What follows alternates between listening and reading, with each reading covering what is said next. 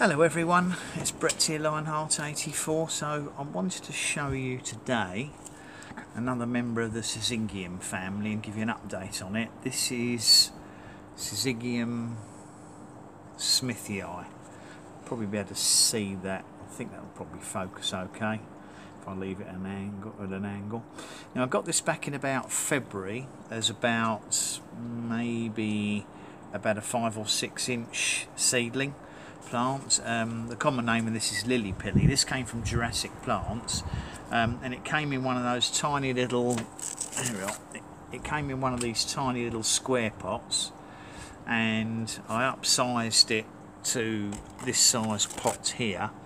And it's really really taken off. It's in I'm keeping it in the kitchen at the moment. These are one of the hardiest of the syzygiums and might as a large plant possibly survive uh, very light frost but I certainly wouldn't want to test it at the moment but it should be one of the easier ones to get to a flowering and fruiting size as they do flower and fruit when they're quite young.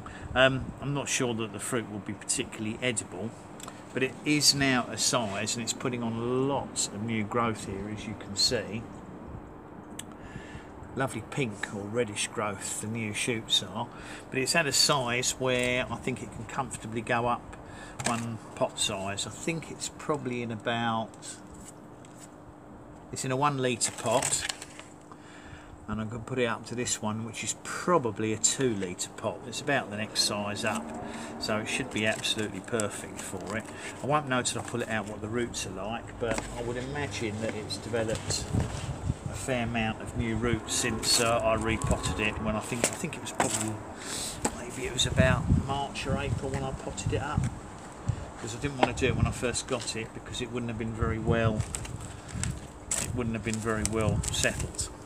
So we'll pop it out and see if it's got any new roots showing on it. I'm not sure that it will but it's certainly certainly okay to go it up, go up a little bit in pot size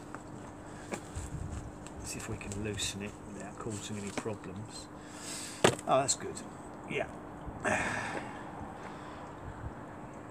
It's got a nice little network of very fibrous roots on it. These aren't a taproot plant, so um, we haven't got to worry about uh, having a giant deep pot for a taproot. Just a normal fibrous plant like most, uh, fibrous rooted plant like most syzygiums. So I'm just going to pop that gently into the new pot without disturbing it put some new uh,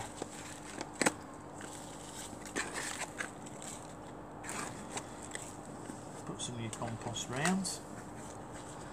Firm it down a little bit and that's job done already. Lost one leaf there. Going to put the label back in. I mean I won't forget what it is but it's a good idea to label your plants if you want to make sure in case anybody else ever wants to know what they are and I'm going to give him a watering and put him back in the kitchen where he was standing in front of the glass. He seemed to be very happy. Um, another job done, but very pretty little plant. And I think the flowers, when they do eventually flower, hopefully next year I might get some flowers on it. It's going to be quite um, an attractive looking plant, and I'll obviously feature it at that time. But um, thanks for watching the video. As usual, I'm going to ask you to give me a thumbs up share the video with anyone you think might have an interest in it. Obviously subscribe to my channel if you haven't done so already and you like the sort of things I'm trying to grow. And um, if you want to keep get updates on this and the new videos as they come out just remember to click on the bell and you'll uh, you'll be updated.